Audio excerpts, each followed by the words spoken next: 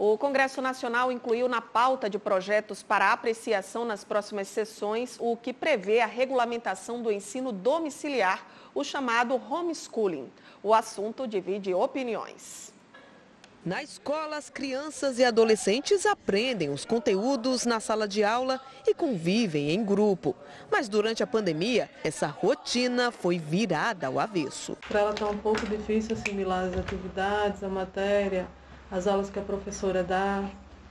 Ela tem bastante dificuldade e eu tenho que me abster do meu tempo para poder ensiná-la, como vocês estão vendo, para ela se desenvolver mais, porque para ela está sendo muito difícil e espero que essa pandemia acabe logo que voltemos tudo ao normal, se Deus quiser. Mas o cenário de aulas em casa, que foi comum durante a pandemia, já é projeto do governo federal, que busca permitir a educação em casa, ou também conhecida como homeschooling.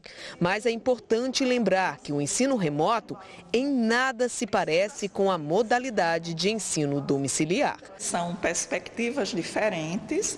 O homeschooling, é, existe uma proposta é, própria, existe é, protocolos próprios pedagógicos, né, inclusive, e o ensino remoto ou o ensino não presencial, vivenciado agora por ocasião da pandemia, é, foi uma proposta forçada, de última hora, é, sem ninguém ter realmente muitas condições para realizar. A proposta altera o artigo do Estatuto da Criança e do Adolescente, que obriga pais ou responsáveis a matricular os filhos na rede regular de ensino, acrescentando a opção pela educação domiciliar. Em 2018, o Supremo Tribunal Federal analisou a questão e considerou que a prática é constitucional mas precisa de regulamentação do Congresso. Há muitas famílias brasileiras é, demandando a necessidade dessa regulamentação, né, através de uma legislação, exatamente porque elas têm esse desejo de é, realizar o ensino domiciliar com os seus filhos. Mas longe da gente pensar que isso é possível para todas as famílias, de todos os estratos sociais. Né? Nós eh, entendemos que poderá ter um público, porque afinal de contas já é regulamentado em mais de 60 países então, o Brasil também tem um público. Na Câmara, o projeto tramita desde 2012, mas recentemente adiantou alguns passos com a apresentação de emenda à medida provisória 934, que regulamenta a educação domiciliar.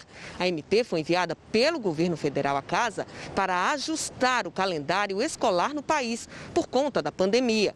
De acordo com a emenda, a educação básica domiciliar deve ser adotada no país sob a responsabilidade dos pais ou tutores responsáveis pelos estudantes. Uma regra considerada polêmica pelos educadores. Os pais, eles passam a ter autonomia sobre a educação de seus filhos e a escola, ela passa a se eximir dessa responsabilidade. Nas aulas remotas que tivemos que repassar para os nossos alunos durante esse período da pandemia, muitos pais relataram a dificuldade desse acompanhamento em casa.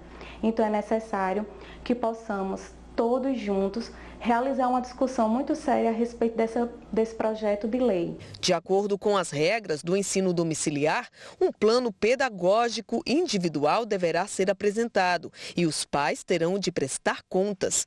Os estudantes serão submetidos a avaliações anuais sob gestão do MEC, com direito à prova de recuperação. Se o aluno for reprovado por dois anos seguidos ou três alternados, perde o direito à educação domiciliar.